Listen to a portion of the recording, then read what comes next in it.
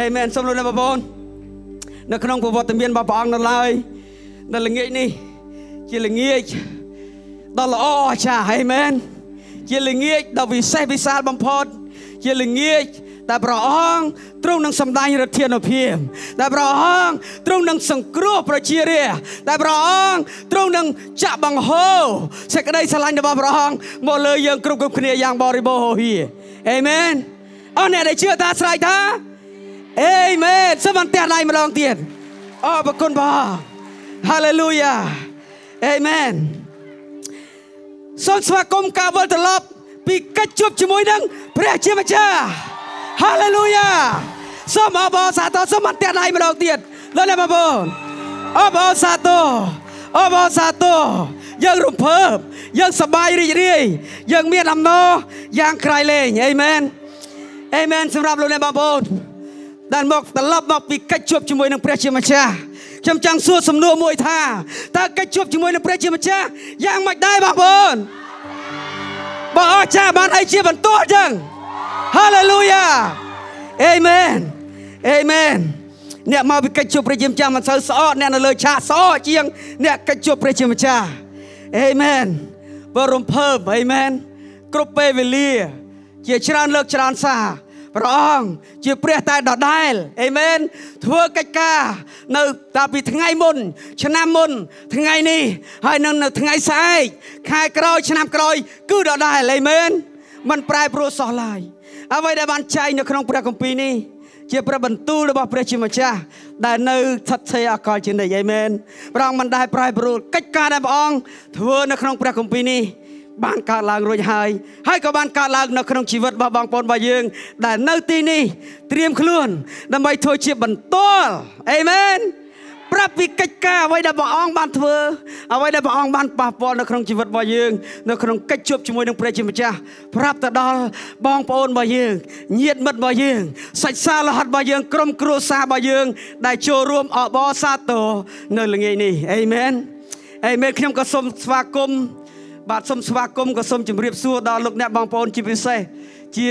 អស់លោកអ្នកបងប្អូនដែលជាញាតិមិត្តសាច់សាលហិតដែលជាមិត្តភ័ក្តិដែលបាទដែលបងប្អូនដែលអង្គុយនៅខាងមុខនេះអញ្ជើញលោកអ្នកបងប្អូនចូលរួមជាភ្ញៀវកិត្តិយសនៅល្ងាចនេះដើម្បីចូលរួមអបអរសាទរជាមួយគ្នាអំពីកិច្ចស្វាគមន៍ត្រឡប់ពីកិច្ចជួបជាមួយនឹងព្រះជាម្ចាស់ហើយគាត់ចង់ប្រាប់ថាគាត់បានត្រឡប់មកមិញមែនគាត់មិននៅនឹងរហូតទេមែន អេមែនអ្នកខ្លះមុនទៅខ្ញុំធ្វើតេស្តសួរសំណួរថាអរគុណច្រើនថាតើដល់ពេលដែលយើងត្រៀមខ្លួនទៅចូលរួមកិច្ចជួបជាមួយនឹងព្រះជាម្ចាស់ហ្នឹងគិតថាយើងបានត្រឡប់មកវិញទេអ្នកខ្លះថាអេប្រហែលអត់ប្រហែលបានមកវិញ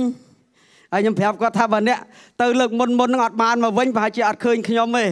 ព្រោះខ្ញុំបានចូលរួមមុនហ្នឹងបាទអញ្ចឹងខ្ញុំបានត្រឡប់មកវិញ អញ្ចឹងបងប្អូនក៏អាចត្រឡប់មកវិញបានដែរអេមែនលើកលែងថាយើងមិនចង់ត្រឡប់មកវិញនៅពេលដែលយើងចូលទៅក្នុងប្រវត្តិមានរបស់ព្រះអង្គជាទីកន្លែងដ៏វិសុទ្ធបានប៉ះពាល់បានព្រះអង្គយាងមកជួបយើងព្រះអង្គធ្វើកិច្ចការនៅក្នុងជីវិតរបស់យើងយើងស្រឡាញ់ប្រវត្តិមានព្រះអង្គដែលខ្លះគាត់ថាអត់ចង់ត្រឡប់មកវិញទៀតចង់បានបរិយាកាសបែបនោះអេមែនអេមែនហាឡេលូយ៉ាបន្តិចទៀតយើងនឹងលើអំពីបន្ទាល់ អំពីសេចក្តីបរិយាយរៀបរាប់ពីកិច្ចការដែលបានកើតឡើង នៅក្នុងកិច្ចជួបជាមួយនឹងព្រះជាម្ចាស់អ្វីដែលព្រះអង្គបានធ្វើការនៅក្នុងជីវិតរបស់គេអ្វីដែលព្រះអង្គបានបើកសម្ដែងអ្វីដែលព្រះអង្គបានបានបានប៉ះពាល់នៅក្នុងជីវិតរបស់គេលោកអ្នកបងប្អូននឹងបានលើកអំពីបន្ទាល់អំពីព្រះជាម្ចាស់ដែលមានប្រជញ្ញគង់នៅ ហើយព្រះអង្គពិតជាព្រះដ៏ពិតប្រាកដមែនអេមែនអេមែន មុនពេលដែលយើងចូលទៅដល់ការធ្វើទីបន្ទាល់យើងចង់លឺយើងរំភើបសប្បាយរីករាយទាំងអ្នកដែលចូលរួមនៅល្ងាចនេះហើយនឹងបងប្អូនដែលទៅតែត្រឡប់ពីកិច្ចជួបព្រះជាម្ចាស់ត្រៀមខ្លួនហើយហើយតម្រឹមមិញថ្មិញតម្រឹមមាត់ដោយត្រៀមនឹងចែកចាយដោយចិត្តរំភើបសប្បាយរីករាយអេមែនប៉ុន្តែមិនទាន់ទេលោកគ្រូសុំចែកចាយមុនសិនអេមែនយើងចង់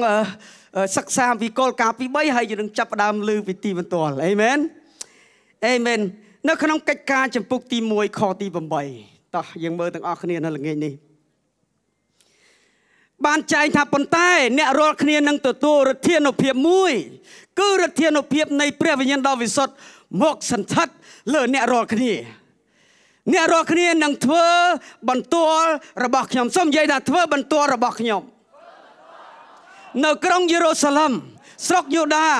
ទាំងមូល ស្រុកសាមារី និងរហូតដល់ស្រុកដាច់ស្រយាលនៃផែនដីអេមែនគឺជាបំណងបាតីរបស់ព្រះជាម្ចាស់ជាព្រះបន្ទូលបង្គាប់បញ្ជា មុនពេលដែលព្រះអង្គព្រះយេស៊ូវគ្រីស្ទបងយាងទៅនគរឋានសួគ៌ពេលដែលព្រះអង្គមានបជនរស់ពីស្លាប់ឡើងវិញព្រះអង្គបានចំណាយពេលជាមួយនឹងសាវករបស់ព្រះអង្គ រយៈពេល40ថ្ងៃជាមួយមនុស្ស500នាក់នៅនៅថ្ងៃចុងក្រោយនោះព្រះអង្គយាងឡើងត្រឡប់ទៅឋានសួគ៌ព្រះបិតាយកព្រះអង្គទៅឡើងត្រឡប់ទៅឋានសួគ៌ហើយព្រះអង្គក៏មានព្រះបន្ទូលសន្យាប្រាប់គេថាឲ្យរងចាំព្រះអង្គនៅទីក្រុងយេរូសាឡឹមព្រះអង្គមានព្រះបន្ទូលថានោះ ព្រះអង្គសន្យាថានឹងប្រទាននៅឫទ្ធានុភាពជាព្រះវិញ្ញាណដ៏វិសុទ្ធដែលនឹងយាងមកសន្ធិដ្ឋលើគេគ្រប់គ្រប់គ្នាមានន័យថាជាឫទ្ធានុភាព ជាកិច្ចការអស្ចារ្យដែលកើតមានឡើងនៅក្នុងជីវិតរបស់គេ ជាការផ្លាស់ប្ដូរមួយដ៏ធំនៅក្នុងជីវិតរបស់គេហើយព្រះអង្គមានព្រះបន្ទូលថាគេនឹងធ្វើបន្ទាល់សូមនិយាយថាបន្ទាល់អ្នកខ្លះថាទីបន្ទាល់ឃើញទេ បាទធ្វើទីបន្ទាល់ធ្វើជាសាក់សីឬក៏រៀបរាប់ពីអ្វីដែលគេឃើញផ្ទាល់ភ្នែកនេះឃើញព្រះអង្គធ្វើការអស្ចារ្យហើយក៏មានបទពិសោធន៍ផ្ទាល់ខ្លួន អំពីការអស្ចារ្យដែលព្រះអង្គធ្វើនៅក្នុងជីវិតគេដែរអញ្ចឹងព្រះអង្គមានព្រះបន្ទូលថា គេនឹងធ្វើជាបន្ទាល់អេមែននៅក្រុងយេរូសាឡឹមនៅស្រុកយូដាស្រុកសាមារីនិងនៅទីដាច់ស្រយាលនៃផែនដីមានន័យថាគ្រប់ទីកន្លែងដែលគេចេញទៅកន្លែងដែលគេរស់នៅកន្លែងដែលគេធ្វើការកន្លែងដែលគេរៀនសូត្រ នៅស្រុកគេនៅភូមិគេ នៅក្រុមជំនុំរបស់គេនៅផ្សាររបស់គេអេមែនគេនឹងធ្វើទីបន្ទាល់ពីកិច្ចការអស្ចារ្យនេះគឺជាព្រះបន្ទូលដែលព្រះអង្គបានបង្គាប់នៅល្ងាចនេះយើងនឹងស្ដាប់ឮនៅទីបន្ទាល់ហើយយើងឮច្រើនដងអំពីពាក្យថាទីបន្ទាល់ឬក៏ធ្វើបន្ទាល់តើមូលហេតុអីបានជាយើងត្រូវធ្វើទីបន្ទាល់ជាគឺថាហេតុអីបានជាយើងចាំបាច់ធ្វើបន្ទាល់យើងឮគ្រប់ពេលវេលាទៅកន្លែងណាក៏ដោយត្រូវធ្វើជាបន្ទាល់ ត្រូវរស់នៅជាបន្ទាល់ត្រូវប្រាប់គេចឹងនៅថ្ងៃនេះយើងនឹងយើងនឹងដឹងអំពីមូលហេតុ3យ៉ាងកិច្ចការ3យ៉ាងសូមនិយាយថា3យ៉ាងនៃការធ្វើទីបន្ទាល់ហេតុអីបានខ្ញុំត្រូវធ្វើទីបន្ទាល់អេមែនជាបំណងមហាតីរបស់ព្រះអង្គជាជាបរិជ្ជបញ្ជាព្រះអង្គបានប្រកបតែមានកិច្ចការ3ទី1មូលហេតុដែលយើងធ្វើបន្ទាល់នៅល្ងាចនេះយើងដឹង គឺដើម្បី ថ្វាយការសរសើរដំកើងព្រះអង្គហើយនឹងអរគុណព្រះអង្គនៅអ្វីដែលបានកើតឡើងនៅក្នុងជីវិតរបស់យើងអេមែនបានចែងនៅក្នុងព្រះគម្ពីរអេសាយចំពុកទី25ខ1ចំណុចទី1នេះតោះយើងបញ្ញាប់បន្តិចបាទអេសាយបានចែងថាព្រះអង្គម្ចាស់អើយព្រះអង្គជាព្រះនៃទូបង្គំទូបង្គំសូមកោតសរសើរនិងដំកើងព្រះកិត្តិនាមរបស់ព្រះអង្គត្បិត ព្រះអង្គបានធ្វើកិច្ចការដ៏អស្ចារ្យគម្រោងការដែលព្រះអង្គរៀបចំទុកតាំងពីយូរណាស់មកហើយនោះសុទ្ធតែនៅជាប់ឥតប្រែប្រួលឡើយអេមែនដូច្នេះយើងសរសើរដំកើងគឺយើងធ្វើបន្តដើម្បីសរសើរព្រះអង្គដើម្បីដើម្បីអរព្រគុណព្រះអង្គនៅមួយទៀតនៅក្នុងមួយទេសាឡូនីកចំពុក5ខ18បានចែងថាចូលអរព្រគុណព្រះជាម្ចាស់ក្នុងគ្រប់កលៈទេសៈទាំងអស់ត្បិតព្រះអង្គសពតិឲ្យបងប្អូនរួមជាមួយនឹងព្រះគ្រីស្ទធ្វើយ៉ាងដូចនេះឯងអេមែន គឺធ្វើការអរព្រគុណព្រះអង្គនៅកិច្ចការអ្វីដែលបានកើតឡើង នៅក្នុងជីវិតរបស់យើង ចំណុចទី2ហេតុដែលយើងធ្វើបន្ទាល់នៅល្ងាចនេះ ទី2គឺដើម្បីដើម្បីកសាងជំនឿបងប្អូនដែលអស់អ្នកដែលស្ដាប់ឮនេះឲ្យបានកើនចម្រើនឡើងអីមែនបងប្អូនអ្នកដែលចង់ឲ្យជំនឿរបស់យើងរឹងមាំឡើងហើយនឹងកើនឡើង មានន័យថាខ្លាំងជាងមុនសូមនិយាយថាខ្លាំងជាងមុនឆេះឈួលជាងមុន ស្រូបជាងមុនស្រូបមានន័យថាដូចដៃឆក់អញ្ចឹងកាលណាយើងមានជំនឿស្រូបឲ្យតែឲ្យតែមានការអស្ចារ្យនៅកន្លែងណាយើងទៅដឹងបានហ្មងឲ្យតែលឺគេនិយាយអីផ្លេតកើតឡើងចំពោះយើងហ្មងអេមែនអញ្ចឹងជំនឿដែលស្រូបដូចស្ត្រីដែលធ្លាក់ឈាម10ឆ្នាំនោះអញ្ចឹងជំនឿគាត់ស្រូបស្រូបឫទ្ធានុភាពពីព្រះអង្គហើយគាត់បានជាអេមែនមិនបាច់ដាក់ដៃក៏ជាដែរអាមែនអេមែនអញ្ចឹងគឺដើម្បីឲ្យជំនឿរបស់យើងកើនឡើង នៅពេលដែលយើងស្ដាប់ឮទីបន្ទាល់ស្ដាប់ឮការអស្ចារ្យដែលដែលដែលដែលព្រះអង្គបានធ្វើអេមែនអ្នកខ្លះគាត់ចូលចិត្តស្ដាប់ដំណឹងអាក្រក់មើលរឿងខ្មោចមើលរឿងដែលអត់ល្អអញ្ចឹងអញ្ចឹងកសាងជំនឿគាត់ទេអត់កសាងទេបំផ្លាញជំនឿគាត់ធ្វើឲ្យសក្តីភ័យខ្លាចកើនឡើងយ៉ាងបរិបូរក្នុងជីវិតគាត់អេមែនអេមែនយប់ឡើងអត់ហ៊ានចេញពីផ្ទះខ្លាចពេកអេមែនសូម្បីតែបន្ទប់ទឹកក៏អត់ទៅដែរ ទិញកថោមកដាក់នៅក្រេដេកអេមែនអស់អ្នកដែលបានលឺសូមកែប្រែចិត្តកំណត់ជាបន្ទាន់ដោយសារគាត់ស្ដាប់លឺដំណឹងអាក្រក់ច្រើនពេកបាទចឹងគឺដើម្បី ដើម្បីដាស់លើកជំនឿកសាងជំនឿនៅក្នុងរ៉ូមជំពូកទី10ខទី17តោះរ៉ូមជំពូកទី10ខទី17បានចែងថាដូច្នេះជំនឿកើតឡើងពីសក្តីដែលយើងបានស្ដាប់រីឯសក្តីដែលយើងបានស្ដាប់នោះកើតមកពីព្រះបន្ទូលរបស់ព្រះគ្រីស្ទគឺជាសក្តីដែលយើងបានឮពីព្រះបន្ទូលពីកិច្ចការអស្ចារ្យពីអ្វីដែលព្រះអង្គទ្រង់ធ្វើដូច្នេះឲ្យជំនឿរបស់យើងកើតឡើងអេមែន អ្នកដែលគាត់អត់តន់ទទួលជឿព្រះអង្គក៏មានក្របពូជនៃជំនឿសាបទៅក្នុងជីវិតរបស់គាត់ហើយវានឹងដុះឡើងនៅថ្ងៃមួយអេមែនអេមែនចំណុចទី3ចុងក្រោយ ទី3បានហេតុដែលយើងធ្វើបន្ទាល់គឺដើម្បីបើកភ្នែកខាងវិញ្ញាណសូមនិយាយថាបើកភ្នែកខាងវិញ្ញាណមិនបានត្រូវបើកភ្នែកលោកគ្រូបិទខ្ញុំបិទភ្នែកមែនភ្នែកយើងនៅបើកធម្មតាទេភ្នែកយើងនៅល្អប៉ុន្តែអ្វីដែលនៅក្នុងចិត្តគំនិតរបស់យើងនោះត្រូវបានបិទ នៅត្រូវបានកាត់ផ្ដាច់ត្រូវបានបិទមិនឲ្យយើងជឿមិនឲ្យយើងលឺមិនឲ្យយើងឃើញពីព្រះជាម្ចាស់ដ៏ពិតប្រាកដអេមែន ដូច្នេះនៅពេលដែលយើងឮទីបន្ទាល់យើងបានទទួលការបោកសម្ដែង យើងបានទទួលការដឹងឮយើងស្គាល់លក្ខណៈរបស់ព្រះជាម្ចាស់យើងស្គាល់ពីឫទ្ធានុភាពរបស់ព្រះអង្គយើងស្គាល់អំពី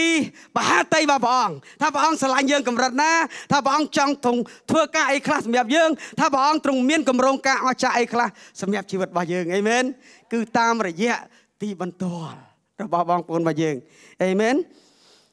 បានចែងនៅក្នុងវិវរណៈចំពុកទី12ខទី11បានចែងថាបងប្អូនបានឈ្នះវាហើយឈ្នះអ្នកណាគេ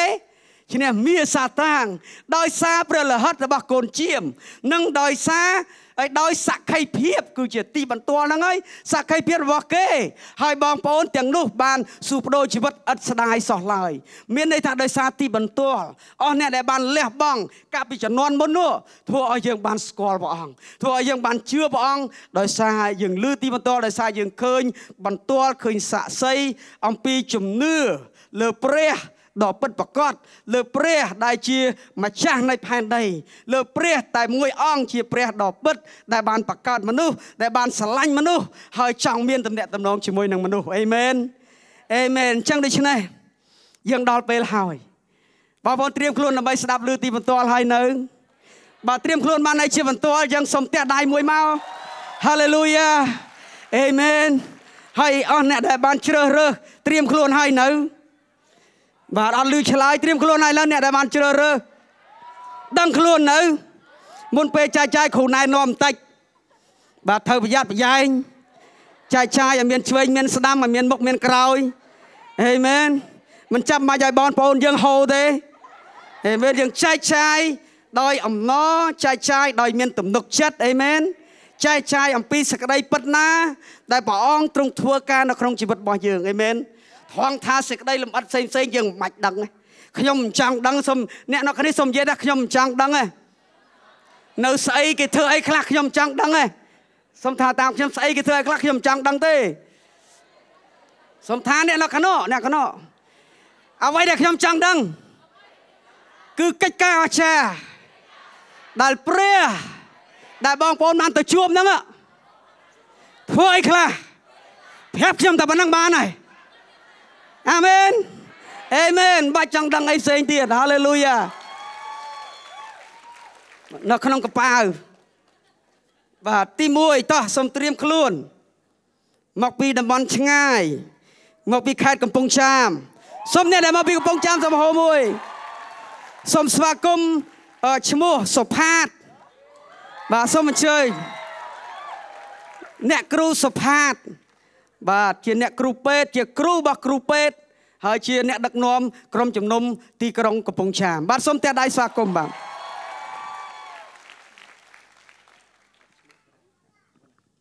ចាអសូមជាដំបូងសូមអរគុណបងប្អូនរួមជំនឿទាំងអស់គ្នាហើយអ្នកដែលអត់តន់ជឿខ្ញុំជឿថានឹងតិចទៀតនឹងជឿដូចខ្ញុំដែរអេមែនអាមែនអញ្ចឹង អអ្វីដែលខ្ញុំបានទៅកិច្ចជួបព្រះជាម្ចាស់ខ្ញុំចង់និយាយមកកាន់បងខ្ញុំចង់និយាយទៅកាន់បងប្អូនទាំងអស់គ្នា គឺព្រះអង្គពិតជាអស្ចារ្យចាព្រះអង្គអស្ចារ្យមែនហេតុអីបានខ្ញុំថាអស្ចារ្យពីព្រោះបានខ្ញុំខ្ញុំទៅបានខ្ញុំបានទៅចូលរួមខ្ញុំមានបទពិសោធន៍ថ្មីជាមួយនឹងព្រះអង្គខ្ញុំមានការប៉ះពាល់ថ្មីអញ្ចឹងបងប្អូនចង់ដឹងអត់ថាការប៉ះពាល់គឺសម្រាប់ជីវិតរបស់ខ្ញុំគឺជាអ្វីអញ្ចឹងបងប្អូនដតីទៀតដែលគាត់បានទៅក៏គាត់បានចូលរួមដែរខ្ញុំរៀងភ័យដែរអញ្ចឹងអឺចាអរគុណលោកគ្រូអឺអញ្ចឹងខ្ញុំសូមខ្ញុំមានការច្រើនមែនតើដែលព្រះអង្គឆ្លើយតឆ្លើយតបពីលើសលើសពីអ្វីដែលខ្ញុំត្រៀមពីនឹងទៅពីព្រោះមុននឹងទៅគឺយើងយើងបានត្រៀមត្រៀមខ្លួនប្រហែលជាអឺសម្រាប់បងប្អូនគឺជារឿងធម្មតាតែសម្រាប់ខ្ញុំ ខ្ញុំមានគ្រួសារហើយខ្ញុំមានកូនពីរខ្ញុំទៅខ្ញុំបារម្ភហើយខ្ញុំក៏បានចងវាខ្ញុំអធិដ្ឋានចងថាពីព្រោះគ្រាន់តែខ្ញុំនិយាយត្រង់ជីវិតរបស់ខ្ញុំសូម្បីតែប្តីខ្ញុំទៅធ្វើទៅធ្វើការឆ្ងាយទៅកន្លះ1ម៉ោង1ម៉ោងរកខ្ញុំនឹកគាត់ដែរហើយកូនខ្ញុំក៏ដោយចាខ្ញុំនិយាយមែនហើយនៅពេលដែលខ្ញុំនឹកគឺខ្ញុំយ៉ាហើយនៅក៏បានទេគាត់ឡូបងខ្ញុំនឹកមកឯងចប់ ខ្ញុំនិយាយជីវិតរបស់ខ្ញុំខ្ញុំអរគុណព្រះអង្គមែនតើខ្ញុំគឺជឿព្រះអង្គឆ្នាំ2006ខែ6រហូតដល់ឥឡូវគឺ14ឆ្នាំហើយប៉ុន្តែអ្វីដែលខ្ញុំមានបទពិសោធន៍គិតជួបព្រះជាម្ចាស់នៅថ្ងៃនេះគឺខ្ញុំអស់ចាស់មែនតើហើយនៅពេលដែលខ្ញុំខ្ញុំនិយាយបន្តទៀតខ្ញុំបានព្រួយបារម្ភពីកូនខ្ញុំកូនស្រីពីរនាក់របស់ខ្ញុំមួយគ្រូឲ្យពេលប៉ុន្មានខ្លី ចា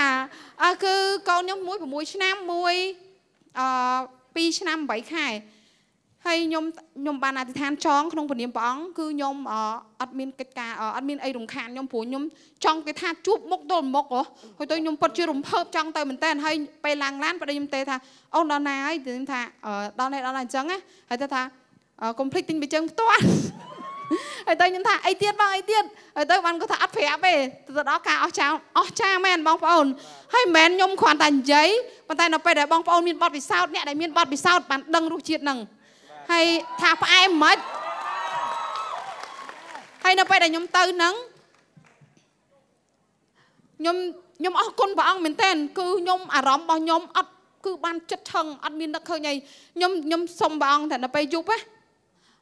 ខ្ញុំមិនដឹងថាពេលយប់ឬអីទេប៉ុន្តែខ្ញុំអធិដ្ឋានទៅកាន់ព្រះអង្គថាព្រះអង្គខ្ញុំខ្ញុំសុំនឹកកូននឹកប្តីខ្ញុំតិចមកខ្ញុំចង់នឹកឃើញខ្ញុំចង់ឃើញមុខគាត់ណាហើយបើអត់រនឹកមិនគាត់ឃើញមុខខ្ញុំខ្ញុំបែកបិទភ្នែកបែកជាឃើញបងប្អូនដែរបាក់គាត់ទៅកិច្ចជួបព្រះជាម្ចាស់មួយខ្ញុំហើយខ្ញុំខ្ញុំអធិដ្ឋានធានថាព្រះអង្គក៏មិនចឹងទេខ្ញុំសុំនឹកឃើញឈ្មោះប្តីខ្ញុំហើយនឹងកូនខ្ញុំអត់នឹកឃើញទៀតអស់ចាមែនតែនចាអស់ចាមែនតែនខ្ញុំនឹកអត់ឃើញគឺចិត្តឆឹងហ្មង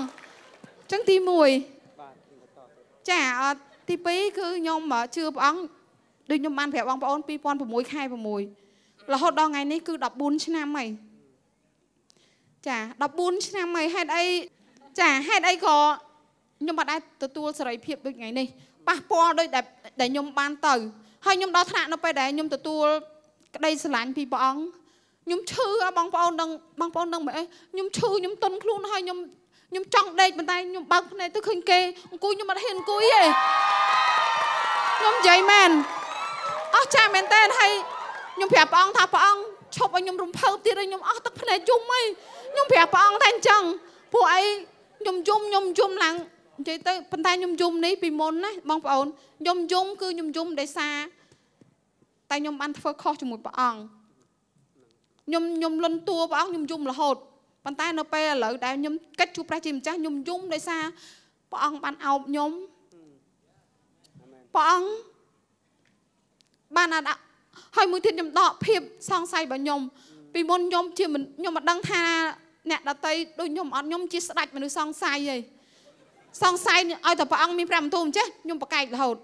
ហើយនៅពេលពេលមួយព្រះអង្គមានព្រះបន្ទូលមកកាន់ខ្ញុំថាឲ្យខ្ញុំយកក្តីស្រឡាញ់នេះចែកចាយគ្រួសារខ្ញុំ ចែកចាយអ្នកភូមិកន្លែងការងារអ្នកដែលនៅជុំវិញរបស់ខ្ញុំហើយខ្ញុំថាព្រះអង្គខ្ញុំអត់ទៅទេសូម្បីអ្នកផ្សេងទៅខ្ញុំខ្ញុំធ្វើតាមសមត្ថភាពរបស់ខ្ញុំខ្ញុំនិយាយអញ្ចឹងប៉ុន្តែព្រះអង្គបើកសំដែងភ្លាមភ្លាមតែម្ដងព្រះអង្គបើកឲ្យខ្ញុំថាបើកនៅក្នុងយេរេមី41ខ10ខ្ញុំប្រកែកជាមួយព្រះអង្គក្នុងចិត្តថាព្រះអង្គកូនអត់កូនអត់ហ៊ានកូនអត់ខ្មាស់គេទេប៉ុន្តែកូនអត់ហ៊ានកូនភ័យខ្លាចអត់ដឹងនិយាយពីអីទេ ហើយព្រះអង្គបានបើកសម្ដែងនៅក្នុងយេរេមី41ខ10ព្រះមានប្រាប់បន្ទូលថាកុំភ័យខ្លាចយើងនៅជាមួយអ្នកកុំព្រួយបារម្ភឲ្យសោះយើងជាព្រះរបស់អ្នកយើងនឹងឲ្យអ្នកមានកម្លាំងរឹងមានចិត្តរឹងប៉ឹងយើងនឹងជួយអ្នកគ្រប់គ្រងអ្នកនឹងរកយុត្តិធម៌ឲ្យអ្នកនៅពេលនោះបងប្អូនខ្ញុំពិតជាអរគុណព្រះអង្គមែនទែនខ្ញុំស្ដាប់ឮស្ដែងខ្ញុំ ព្រះអង្គមិនបើកសម្ដែងស្ដែងស្ដែងឲ្យខ្ញុំបានឃើញហើយពេលនោះខ្ញុំស្កប់ចិត្តខ្ញុំថាព្រះអង្គអស្ចារ្យម៉ែព្រះអង្គដឹងថាខ្ញុំសង្ស័យលើព្រះអង្គព្រះអង្គអស្ចារ្យអត់បងប្អូនអស្ចារ្យមែនចាហើយមួយទៀតចុងក្រោយ គឺព្រះអង្គបានឲ្យខ្ញុំបដិសេធបដិសេធមានសំណួរមួយសួរមកកាន់ខ្ញុំថា តើកូនកំពុងតែអោបអីក្នុងចិត្តរបស់ខ្ញុំបងប្អូននឹងខ្ញុំអត់ដូចគ្នាប៉ັດជាដូចគ្នារឿងអតីតប្រហែលជាខ្លះ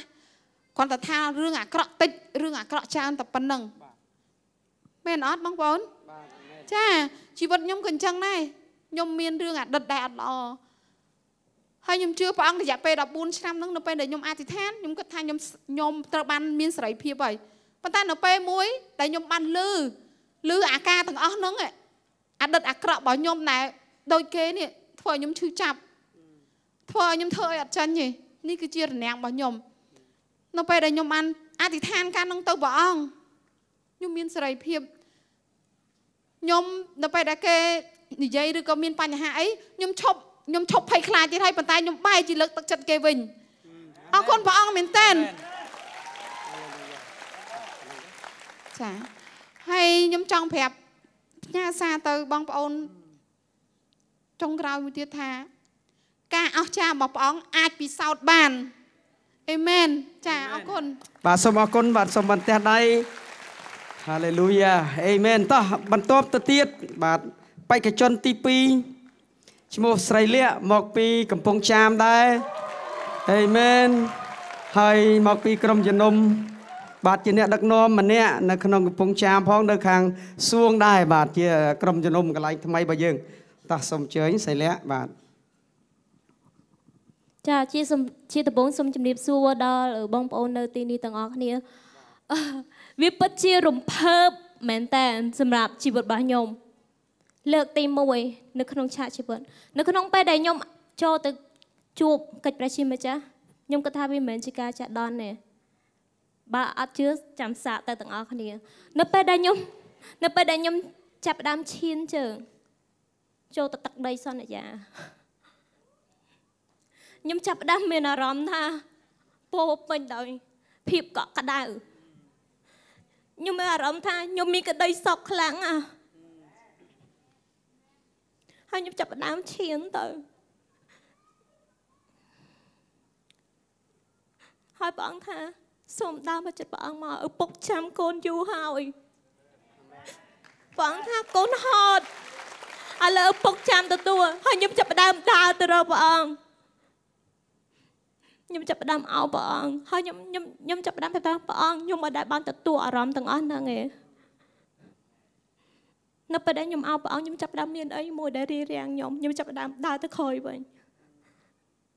ខ្ញុំចាប់ដើមឃើញខ្លួនឯងកំពុងតែដើរលើផ្លូវមួយដែលកំពុងតែឡើងហើយចុះឡើងចុះដែលមានមនុស្សម្នាក់ដែលកំពុងតែកាន់ចន្លោះហើយដើរពីមុខខ្ញុំទៅឆ្ងាយមែនតើហើយខ្ញុំព្យាយាមរត់តាមគាត់ដែលនៅជុំវិញផ្លូវរបស់ខ្ញុំគឺសុទ្ធតែភ័យហើយល្ងឹតហើយខ្ញុំចាប់ដើមព្យាយាមរត់ថាចាំផងហើយខ្ញុំស្រែកហៅព្រះអង្គផងតែកាន់តែបាត់ទៅបាត់ទៅហើយខ្ញុំចាប់ដើមមានអារម្មណ៍ភ័យខ្លាចភាពភ័យខ្លាចចាប់ដើមចូលមកជីវិតរបស់ខ្ញុំមិនតែ ខ្ញុំខ្ញុំអត់ហ៊ានកន្លែងទៅក្រោយខ្ញុំនៅតែព្យាយាមដើរទោះបីពេលខ្លះខ្ញុំខ្លាចទោះបីពេលខ្លះខ្ញុំអត់មានអ្នកដែលនៅខាងមុខខ្ញុំខ្ញុំអត់អត់មើលឃើញគាត់ប៉ុន្តែនៅពេលដែលខ្ញុំដើររហូតខ្ញុំចាប់ដើមឃើញវាលមួយព្រះអង្គចាប់ដើមបង្ហាញខ្ញុំកូននេះជាទឹកដីរបស់កូនមានវាសែដែលទុំហើយមានដើមថ្នោតទេសភាពដែលខ្ញុំមានអារម្មណ៍ថាខ្ញុំបានសម្រាកហើយព្រះអង្គ ប្រាប់ថាកូន មានមនុស្សជាច្រើនដែលគេកំពុងតែមានអារម្មណ៍ដូចកូន មានមនុស្សជាច្រើនដែលកំពុងតែដែលកំពុងតែជាប់គាំងនៅទៅនឹងសូមកូនជួយហើយខ្ញុំចាប់ដើមអោបព្រះអង្គទៀតខ្ញុំអោបអោបខ្ញុំអត់ចង់លែងព្រះអង្គឡើយព្រោះខ្ញុំមិនដែលបានទទួលអារម្មណ៍ទាំងអស់ហ្នឹងព្រះអង្គចាប់ដើមលួមលោមខ្ញុំឲ្យព្រះអង្គចាប់ដើមគូស្មាខ្ញុំថាកូនកូនធ្វើបានល្អកូនកូនធ្វើបានល្អឪពុកឪពុកគ្រប់ត្រកូនសូមបន្តវា ពេលខ្លះខ្ញុំខ្ញុំសូមនិយាយផ្ទាល់ខ្ញុំបដិសេធខ្លួនឯងខ្លាំងតែសារតែខ្ញុំមានការបដិសេធតាំងពីតូចអញ្ចឹងវាជាអីមួយនៅក្នុងជីវិតរបស់ខ្ញុំដែលខ្ញុំតែងតែជាប់គាំងនឹងការបដិសេធនៅពេលដែលខ្ញុំចាប់ដើមអោបអោបព្រះអង្គចាប់ដើមព្យាបាលដួងចិត្តរបស់ខ្ញុំ ហើយខ្ញុំចាប់ផ្ដើមអោបព្រះអង្គព្រះអង្គចាប់ផ្ដើមឲ្យខ្ញុំឃើញរូបភាពមួយតែខ្ញុំឃើញរូបភាពរបស់ខ្ញុំកំពុងតែអោបមនុស្សម្នាក់ដែលកំពុងតែដេកស្ដោកស្ដើងដែលដែលពេលខ្លះខ្ញុំបាននិយាយប្រាប់គាត់ថាខ្ញុំបានអត់ទោសឲ្យគាត់ហើយខ្ញុំខ្ញុំបានធ្វើហើយមិនតែហេតុអីព្រះអង្គបង្ហាញឲ្យខ្ញុំឃើញទៀត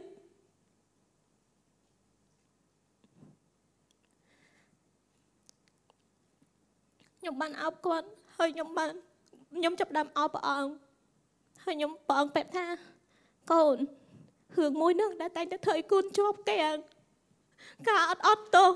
ពេលខ្លះខ្ញុំប្រាប់ថាខ្ញុំអត់ទោសខ្ញុំអត់ទោសខ្ញុំបានស្រឡាញ់គាត់ហើយមិនតែអត់ទាន់ព្រះអង្គបានឲ្យខ្ញុំឃើញពីរូបភាពទាំងអស់ហ្នឹងអញ្ចឹងវាជាបទពិសោធន៍វាជាវិបត្តិសេរីរបស់ខ្ញុំដែលខ្ញុំបានអត់ទោសដែលគាត់អត់បានលើពីមាត់របស់ខ្ញុំថា ខ្ញុំបានអត់ទោសឲ្យគាត់ហើយខ្ញុំបានស្រឡាញ់គាត់ខ្លាំងណាស់ទោះបីពេលខ្លះគាត់អត់បានឲ្យតម្លៃខ្ញុំ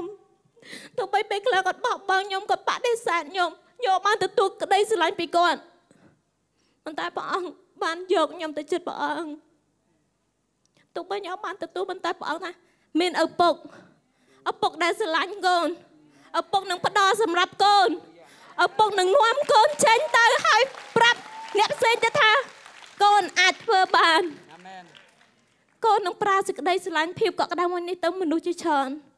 ព្រះអង្គបានបង្ហាញខ្ញុំមានក្មេងៗជាច្រើនមានយុវជនជាច្រើនដែលត្រូវការខ្ញុំដែលគេកំពុងតែខ្វះក្តីស្រឡាញ់ដូចខ្ញុំដែលគេខ្វះភាពកក់ក្ដៅដូចជាខ្ញុំ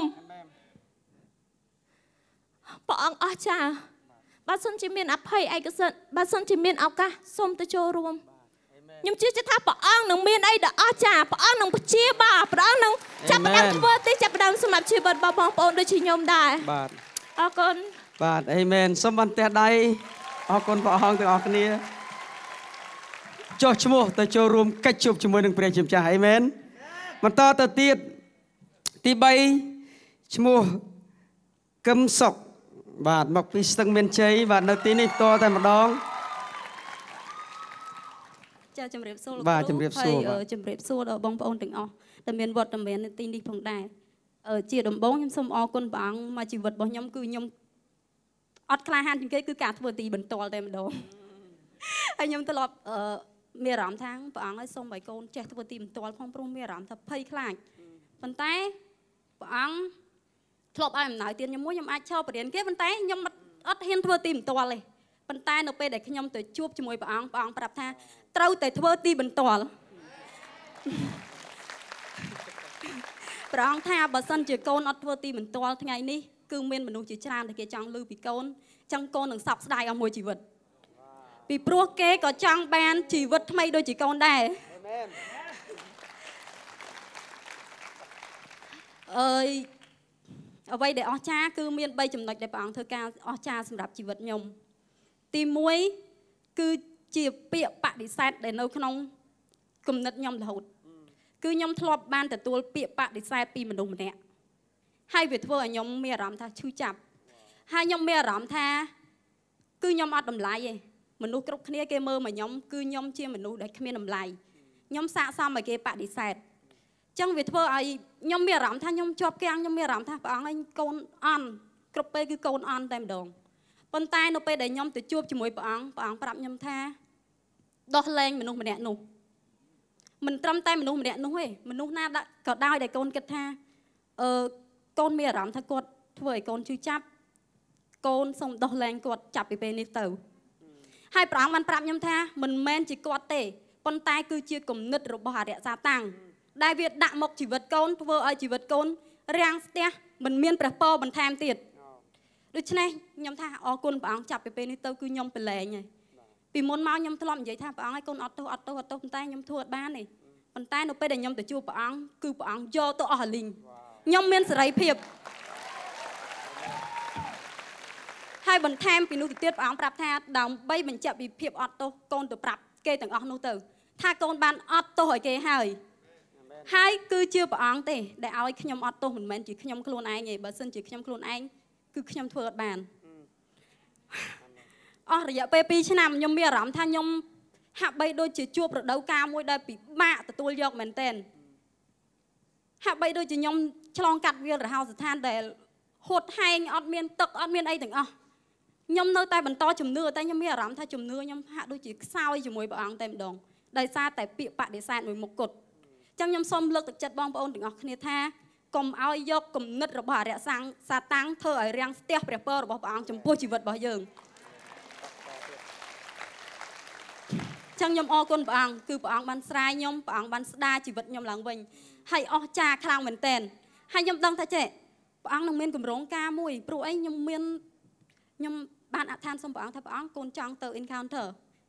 ពីមុនខ្ញុំធ្វើការនៅខេត្តតែខ្ញុំអធិដ្ឋានឲ្យមកភ្នំពេញខ្ញុំថាខ្ញុំចង់ទៅក្រុមជំនុំជីវិតថ្មីព្រោះក្រុមជំនុំជីវិតថ្មីនឹងបំផ្លាស់បំដូរជីវិតខ្ញុំឲ្យជីវិតខ្ញុំផ្លាស់ប្រែជាថ្មីពេលខ្ញុំមកដល់មានគេធ្វើទីបន្ទាល់ពីការអស្ចារ្យតាក់ទងនឹងទៅ encounter អញ្ចឹងខ្ញុំថា encounter អីគេខ្ញុំចង់ដឹងបងអូនស្រីខ្ញុំប្រាប់ខ្ញុំមុនគេថាអស្ចារ្យចាអញ្ចឹងខ្ញុំទទួលស្គាល់ថាគឺអស្ចារ្យមែនអាមែន ហើយចំណុចទី2ដែលខ្ញុំទទួលបានពីព្រះអង្គគឺបងប្រុសរបស់ខ្ញុំអត់ជឿព្រះអង្គទេរយៈពេលដែលជាង10ឆ្នាំខ្ញុំអធិដ្ឋានឲ្យគាត់ហើយខ្ញុំបានឃើញរូបភាពមួយអរិយសាតាំងវាបានធ្វើបាបជីវិតមនុស្សម្នាក់ដែលគាត់ធ្លាប់ថ្វាយខ្លួនហើយប៉ុន្តែគាត់បានចាក់ចែងពីព្រះអង្គទៅវិញវាបានហៅចំនួន7ទៀតឲ្យមកបំផ្លាញជីវិតរបស់គាត់ចឹងខ្ញុំឃើញរូបភាពបងប្រុសខ្ញុំខ្ញុំធ្វើឲ្យខ្ញុំក្តុកក្តួលហើយខ្ញុំមានអារម្មណ៍ថាឈឺចាប់មែនតើ ឈឺចាប់ចំនួនគាត់ដោយសារតែគាត់ជាប់នៅក្នុងភាពងងឹតដែលគាត់ខ្លួនឯងគឺគាត់អត់ដឹងទេចង់ខ្ញុំអធិដ្ឋានថាព្រះអង្គឲ្យសូមព្រះអង្គត្រាស់ហៅឲ្យគាត់បានជឿព្រះអង្គដូចជាកូនដែរព្រោះកូនមានអារម្មណ៍ថាជីវិតគាត់គឺគាត់ពិបាកគាត់ជួបការបាក់បែកគ្រួសារគាត់មានវិបត្តិដូច្នេះហើយគឺព្រះអង្គបានបង្ហាញរូបភាពមួយថាថ្ងៃមួយព្រះអង្គនឹងត្រាស់ហៅគាត់អាមែនហើយមិនត្រឹមតែប៉ុណ្្នឹងទេគាត់គឺជាអ្នកបំរើពន្ធកិច្ចព្រះអង្គដ៏អស្ចារ្យថែមទៀត ទី3គឺតកតងនឹងនិមិត្តព្រះអង្គបានដាក់និមិត្តថ្មីមកសម្រាប់ខ្ញុំកាលពីខ្ញុំជឿព្រះអង្គដំបូងសក្តីជំនឿខ្ញុំមានអារម្មណ៍ថាខ្ញុំឆេះឈួលខ្ញុំមាននិមិត្តមួយគឺខ្ញុំទៅផ្សាយនឹងល្អទៅដល់អ្នកដតីទៀតដែលគេអត់ដែលឮដំណឹងល្អកុមារចាស់ជរាអីអញ្ចឹងទៅខ្ញុំបានធ្វើការនោះអស់រយៈពេល7ឆ្នាំនៅពេលដែលខ្ញុំចាប់ផ្ដើមចូលដល់វិលរហោស្ថានខ្ញុំចាប់ផ្ដើមមានអារម្មណ៍ថាស្ដាយជីវិត ដែលនៅស្រុកអេស៊ីបរបស់ខ្ញុំខ្ញុំមានអារម្មណ៍ថាអូយដូចអត់មានអីអស្ចារ្យបើខ្ញុំនៅស្រុកអេស៊ីបប្រហែលជាខ្ញុំអស្ចារ្យជាងខ្ញុំជាយាមទៅរកភាពផ្សេងផ្សេងដែលលួងខ្លួនឯងជួនកាលខ្ញុំអាចប្រើនិយាយភាពស្មោះត្រង់ខ្ញុំប្រើប្រព័ន្ធអ៊ីនធឺណិតលើសពីអ្វីដែលកំណត់ខ្ញុំចេះតែធ្វើឲ្យមានអារម្មណ៍ថាវាបាត់ stress ខ្ញុំជឿថាបងប្អូននៅទីនេះក៏មានដូចខ្ញុំដែរចង់ព្រះអង្គ ទៅទីនោះព្រះអង្គបានប្រាប់ថាមិនមែនជាអស់ការអស់ហ្នឹងទេដែលជួយឲ្យយើងបានសះស្បើយប៉ុន្តែគឺព្រះអង្គតែមួយគត់ហើយព្រះអង្គប្រាប់ខ្ញុំថាចាប់ពីពេលនេះទៅ កូនត្រូវដាក់ព្រះអង្គជាទី1គ្មានការណាដែលរាំងស្ទះជីវិតរបស់កូនតទៅទៀតទេហើយត្រូវបន្តនិមិត្តបន្តនៅអ្វីដែលព្រះអង្គបានដាក់អំណោយទានចំពោះជីវិតកូនប្រើអំណោយទាននោះនោះព្រះពរព្រះអង្គនឹងហូរមកហូរមកអស់កល អរគុណបាទសូមបន្ទះដៃអរគុណព្រះអង្គអេមែនបន្តទៅទៀតឈ្មោះសុនលីលាក់បាទខាងណាបាទបាទបៃខានារីច្រើនបាទបៃខានារីមានច្រើនមែនទែនបាទដឹងថាមានតទៀតអត់នេះបាទសូមស្វាគមន៍បាទ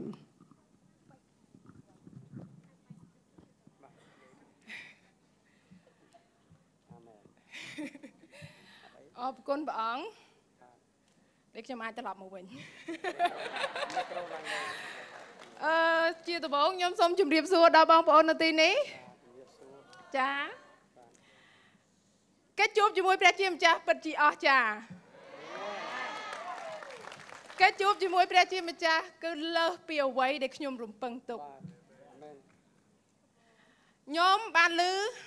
កិច្ចជួបជាមួយព្រះជាម្ចាស់ខ្ញុំមកពហិយូរហើយបានឮយូរហើយ តែខ្ញុំអត់ដែលបានទៅទេ ហើយអ្វីដែលខ្ញុំសម្រេចចិត្តថាទៅខ្ញុំខុសពីបងប្អូនដែលនៅទីនេះបន្តិចមូលហេតុដែលខ្ញុំសម្រេចចិត្តទៅ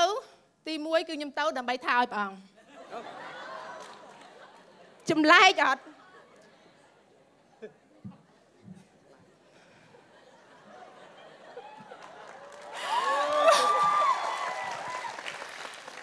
ខ្ញុំ កាលពីកាលពី3ខែមុនខ្ញុំបានអធិដ្ឋានសុំហើយខ្ញុំគឺជាកូនពៅនៅក្នុងគ្រួសារខ្ញុំសុំអីខ្ញុំត្រូវបាននឹងអញ្ចឹងទៅអាទម្លាប់ហ្នឹងវានៅជាប់រហូតសុំព្រះអង្គបានសុំព្រះអង្គបានសុំព្រះអង្គអត់បានព្រះអង្គខ្ញុំនឹងមានខ្វែនការសម្រាប់ព្រះអង្គព្រោះអីខ្ញុំនិយាយស្មោះត្រង់ខំអត់រើសមុខ សំបីតាមេនៅកន្លែងធ្វើការក៏ខំដែរដែលត្រូវខំគិតថាខ្លួនឯងមិនដែរខុសនៅកន្លែងនៅសាលាខ្ញុំជួយចិត្តពាក់របាំងមុខថាខ្ញុំរឹងមាំខ្ញុំក្លាហាន មិត្តភ័ក្ដិខ្ញុំមិត្តភ័ក្ដិដែលជិតស្និទ្ធថាចេះបងបងឯងខ្ញុំចង់រឹងមាំដោយបងឯងមិត្តភ័ក្ដិនៅកន្លែងធ្វើការអឺឯងសុបាយរហូតខ្ញុំប្រាប់គេថាខ្ញុំមានកន្លែងដែលខ្ញុំត្រូវរំដោះទុក ទាំងដែលខ្ញុំនឹងកំពុងតែចង់ទៅថាឲ្យព្រះអង្គតែខ្ញុំប្រាប់គេអញ្ចឹងហើយពេលខ្ញុំមកផ្ទះខ្ញុំដោះរបាំងមុខនឹងចេញភាពខ្ទេចខ្ទាំមានច្រើនថ្ងៃមួយខ្ញុំបានជួបខ្ញុំបានទៅញ៉ាំអីមួយបុគ្គលិកធ្វើការនៅ New Life ហើយខ្ញុំប្រាប់គាត់ថាបងខ្ញុំចង់ទៅជួបកិច្ចជួបជាមួយព្រះជាម្ចាស់គាត់សួរថាអូនឯងប្រកាសនៅខ្ញុំប្រាប់ថាខ្ញុំប្រកាសហើយព្រោះខ្ញុំមានបញ្ហាច្រើនដើម្បីទៅឃ្លាមួយព្រះអង្គ ខ្ញុំបានចុះឈ្មោះថ្ងៃដែលគេទេហៅឃើញលេខប្លែកព្រួយធម្មតាទូរស័ព្ទយើងយើងសេវឈ្មោះឃើញលេខប្លែកដឹងញូឡៃ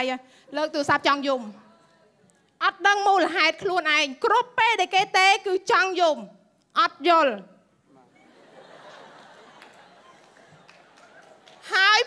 ហើយខ្ញុំជឿថាអ្នករាល់គ្នាគឺដូចខ្ញុំនៅពេលដែលខឹងខ្លាំងគឺញ័រខ្ញុំអញ្ចឹង ថ្ងៃទៅដល់ថ្ងៃឡើងឡានហើយក៏ខ្ញុំនៅតែញ័រដែរញ័រដឹងថាកំហឹងហ្នឹងវាឆេះមកពីណាទេ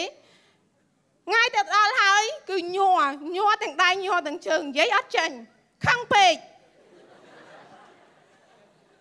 បន្ទាប់មកខ្ញុំបានបើខ្ញុំបានខ្ញុំបានខ្ញុំបានទៅសួរព្រះអង្គថាព្រះអង្គមិនចឹងមិនដល់ការនឹងកើតឡើងមួយខ្ញុំអញ្ចឹងព្រះអង្គប្រាប់ខ្ញុំថាព្រះអង្គមានហេតុផល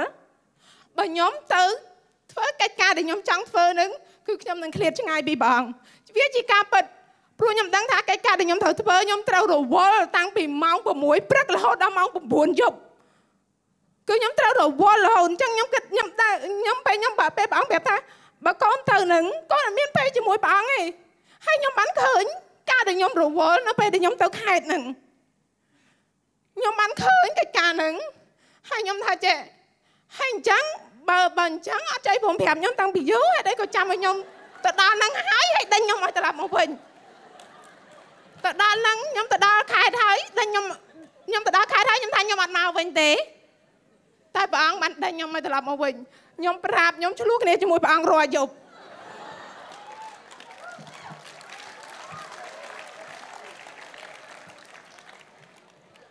នៅពេលដែលខ្ញុំឃើញការអស្ចារ្យ ឃើញអ្វីដែលព្រះអង្គបានឲ្យខ្ញុំឃើញអ្វីដែលខ្ញុំចង់សួរទៅព្រះអង្គហើយខ្ញុំបានទទួលចម្លើយខ្ញុំពិតជាខ្ញុំពិតជាមានអារម្មណ៍ថាខ្លួនឯងខុសខ្លាំងមែនទែនខ្ញុំសុំទៅទៅកាន់ព្រះអង្គខ្ញុំថាព្រះអង្គកូនខុសខ្លាំងព្រះអង្គហើយហេតុអីក៏កូនហេតុអីក៏ព្រះអង្គនៅសួរកូនថាចង់ធ្វើជាកូនរបស់ព្រះអង្គទៀតអត់ទាំងដែលខ្ញុំនេះក៏ទៅឲ្យព្រះអង្គខ្ញុំថាកុំឲ្យព្រះអង្គជាច្រើនយ៉ាងតែព្រះអង្គនៅតែសួរខ្ញុំ នេះគឺជាអំណរមួយដ៏សែនអស្ចារ្យមែនទែនគឺជាអ្វីដែលខ្ញុំបានទទួលបន្ទាប់មកអ្វីដែលខ្ញុំបានឮខ្ញុំបានឃើញ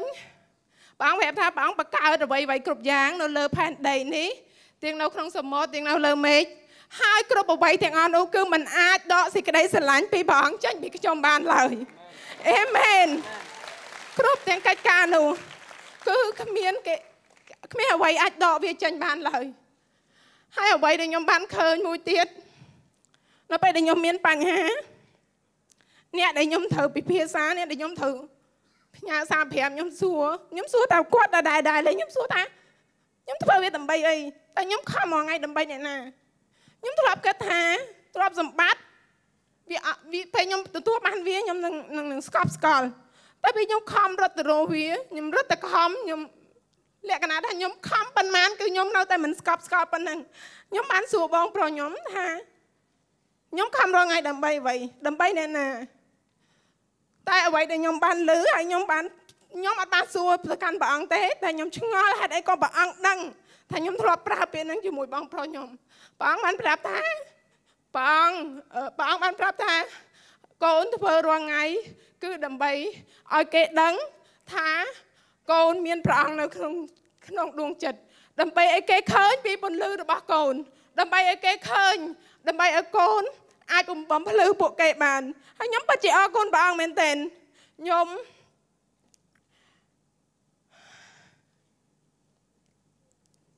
ខ្ញុំពិតជាអរគុណព្រះអង្គដែលបង្ហាញ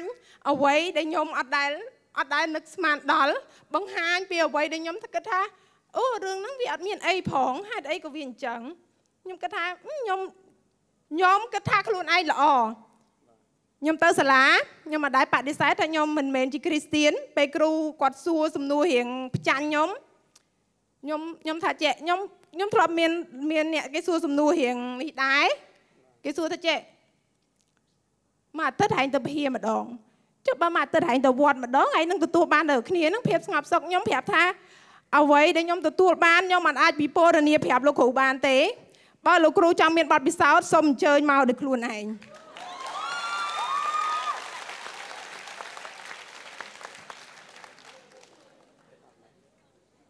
អរប្រគុណព្រះអង្គដែលស្រាយរាល់តែចំណងហើយខ្ញុំសូមផ្ដាំបើសិនជា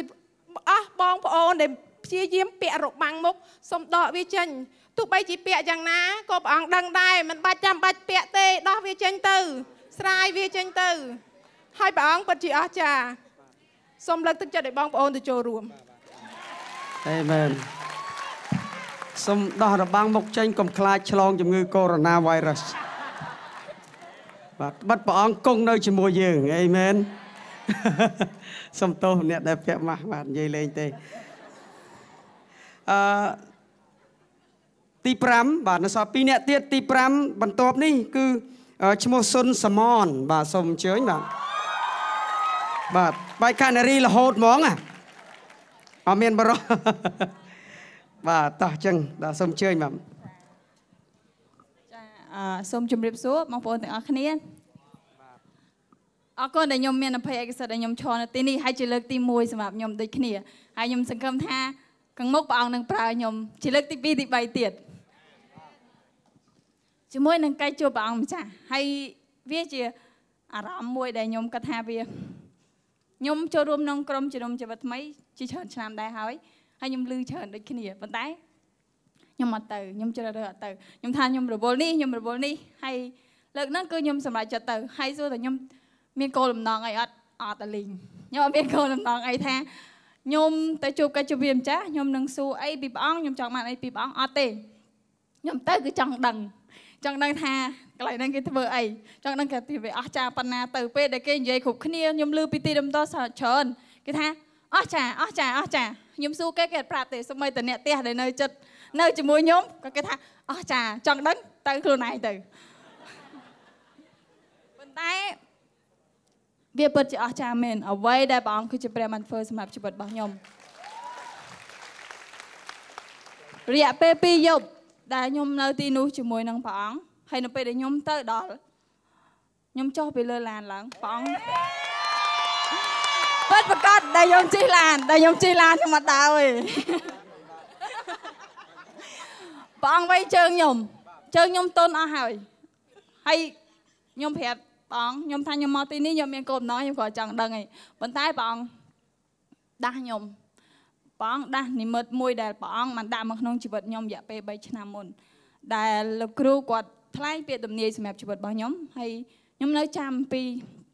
កិច្ចការទាំងអស់ហ្នឹងដែលលោកគ្រូនិយាយទាំងប្រហែលខ្ញុំចាំទាំងអស់ប៉ុន្តែនៅពេលដែលខ្ញុំទៅខ្ញុំអត់នឹកឃើញពីកិច្ចការទាំងអស់ហ្នឹងឯងប៉ុន្តែព្រះអង្គដាស់ខ្ញុំភ្លាមនៅក្នុង3ឆ្នាំមុនដែលខ្ញុំចូលរៀនថ្នាក់ LG ហើយព្រះអង្គលោកគ្រូបានឲ្យនិមិត្តសញ្ញាអ្វីដែលព្រះអង្គជាព្រះបណ្ដាក់ក្នុងជីវិតរបស់ខ្ញុំព្រះអង្គបានថាខ្ញុំជាមនុស្សស្រីម្នាក់ ដែលមានរបៀបរៀបរយជាមនុស្សស្រីម្នាក់ដែលនឹងនាំព្រះបន្ទូលព្រះអង្គទៅកាន់ចំនួនក្រោយ ហើយជាមនុស្សស្រីម្នាក់ទៀតដែលនឹងឲ្យគេឃើញ ជាមនុស្សទៀតជាគំរូសម្រាប់ចំនួនក្រោយហើយខ្ញុំខ្ញុំជាមនុស្សដែលប្រកែតវ៉ាខ្ញុំតវ៉ាទៅកាន់ព្រះអង្គថាឲ្យខ្ញុំធ្វើយ៉ាងម៉េចបើខ្ញុំអត់មានប័ណ្ណពិសោធន៍ទាំងអស់ហ្នឹងហើយទីមួយទៀតខ្ញុំអត់មាន អត់មានបងប្អូនខ្ញុំកូនតូលអញ្ចឹងទៅខ្ញុំអត់មានក្តីស្រឡាញ់ច្រើនខ្ញុំអត់បានទទួលក្តីស្រឡាញ់ច្រើនប៉ុន្តែព្រះអង្គបង្ហាញខ្ញុំហើយព្រះអង្គនិយាយប្រាប់ខ្ញុំហើយព្រះអង្គឲ្យផ្ទាល់ផ្ទាល់ពីព្រោះថាខ្ញុំត្រូវការអំណាចអំណាលអញ្ចឹងបងឲ្យកំពីខ្ញុំហើយសុកសុកមិនមែនសុកទៅខ្ញុំទៅបើកហើយវាប៉ះហើយប៉ុន្តែវាជាអ្វីមួយដែលព្រះអង្គបង្ហាញខ្ញុំនៅក្នុងហ្នឹងនៅក្នុងគម្ពីរទំនុកដង្កើងចំពុក19ខ6ដែលព្រះអង្គនិយាយថាព្រះអាទិត្យចរយាត្រាពីទិសខាងកើតទៅទិសខាងលិចយ៉ាងណា គ្មាននរណាអាចបានកំណៅព្រះអាទិត្យបានទេគ្មាននរណាអាចរៀងរៀងព្រះអាទិត្យកុំឲ្យលិចទៅទិសខាងលិចបានទេហើយអញ្ចឹងអ្វីដែលព្រះអង្គដាក់នៅក្នុងជីវិតរបស់ខ្ញុំក៏ខ្ញុំធ្វើបានដូចគ្នាក៏ព្រះអង្គធ្វើព្រះអង្គសម្រេចនៅក្នុងជីវិតរបស់ខ្ញុំដូចគ្នាតែសំខាន់តែខ្ញុំធ្វើយ៉ាងម៉េចជាមួយនឹងព្រះអង្គនេះជាកិច្ចការមួយដែលព្រះអង្គធ្វើជាមួយខ្ញុំខ្ញុំនៅអត់អស់ចិត្តទេខ្ញុំសួរព្រះអង្គថែមទៀតហើយព្រះអង្គបានឲ្យខ្ញុំបើកទៅក្នុងព្រះគម្ពីរអេសេគៀលជាសញ្ញាចាស់ហើយខ្ញុំដឹងថាសញ្ញាចាស់ អត់សូវចូលចិត្តអានទេហើយខ្ញុំអានព្រះគម្ពីរប្រចាំថ្ងៃអញ្ចឹងសញ្ញាចាស់ភាគច្រើនខ្ញុំអានភាគច្រើនខ្ញុំអត់តែខ្ញុំចូលចិត្តសញ្ញាថ្មីច្រើនប៉ុន្តែថ្ងៃហ្នឹងបងឲ្យខ្ញុំបើកនៅក្នុងសញ្ញាចាស់ហើយនិយាយមកវាលយនៅក្នុងចម្ពោះទី30វាពិតជាលយអ្វីដែលព្រះអង្គឆ្លើយតបដែលខ្ញុំចង់បានពីព្រះអង្គហើយនៅក្នុងជំពូកទី36ដែលព្រះអង្គនិយាយពីកិច្ចការទាំងអស់ហ្នឹងពីព្រោះនៅពេលដែលខ្ញុំទៅដល់ព្រះអង្គខ្ញុំដកទាំងអស់ អ្វីដែលជាកិច្ចការអ្វីដែលជានេះព្រះអង្គបង្ហាញព្រះអង្គហៅខ្ញុំអង្គុយមកព្រះអង្គចាក់ស្លាយឲ្យមើលពីអ្វីដែលជីវិតរបស់អ្នកឯងធ្វើប្រចាំថ្ងៃព្រះអង្គឲ្យខ្ញុំមើលព្រះអង្គរៀបរាប់មកទាំងអស់រៀបរាប់មកទាំងអស់ពីកិច្ចការទាំងអស់ហ្នឹងហើយព្រះអង្គថាដកវាចេញទៅមិនបាច់ប្រឹងលាក់ឯងពីព្រោះថាទោះបីជាអ្នកឯងលាក់ខ្ញុំក៏លាក់អត់ចិត្តដែរព្រះអង្គគ្រាន់តែចង់ឲ្យជីវិតរបស់ខ្ញុំប្រកាសពីអ្វីដែលខ្ញុំបានធ្វើរួចហើយអ្វីដែលជាអំពើបាបឲ្យខ្ញុំធ្វើកន្លងហើយព្រះអង្គគ្រាន់តែចង់ឲ្យខ្ញុំចេញពីកិច្ចការទាំងអស់ហ្នឹង នៅពេលដែលខ្ញុំដកកិច្ចការទាំងអស់ហ្នឹងចេញពីជីវិតរបស់ខ្ញុំហើយខ្ញុំបានកំតិចវាហើយខ្ញុំបានទុកវានៅក្នុងផេះហើយបងឲ្យនិមលសញ្ញាថ្មីមួយមកកាន់ខ្ញុំទៀតជាពន្លកមួយដែលដោះចេញពីអាកន្លែងឆេះហ្នឹងណាហើយ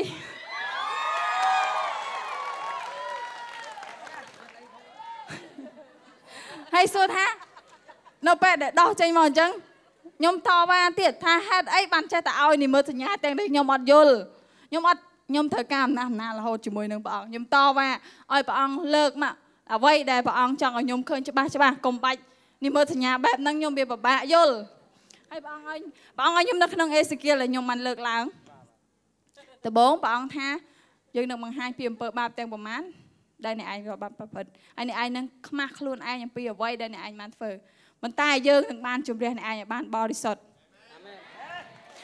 ព្រះអង្គជំរះអ្នកឯងឲ្យបានបរិសុទ្ធហើយព្រះអង្គនឹងឲ្យប្រជាជាតិនេះរស់នៅលើទឹកដីនេះហើយនៅក្នុងក្រុងនានាទៀត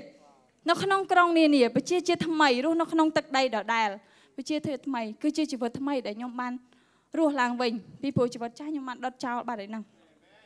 វាខ្លាចទៅជាផេះហើយអ្វីដែលជារនាំងដែលព្យាយាមរារាំងខ្ញុំមិនឲ្យខ្ញុំឈ្មោះទៅកាន់អ្វីដែលព្រះអង្គដាក់ឲ្យខ្ញុំនោះខ្ញុំបានដុតចោលហើយវាដោះចេញមកវិញដែរហើយ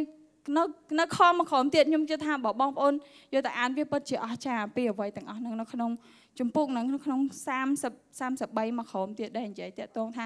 ព្រះអង្គនឹងឲ្យព្រះអង្គនឹងសង់ផ្ទះនៅលើកំពែងដែលបាក់បែកដីដែលបាក់បែកដីគេគេបោះបង់ចោលដីដែលគេបោះបង់ចោលព្រះអង្គនឹងដាំដំណាំថ្មី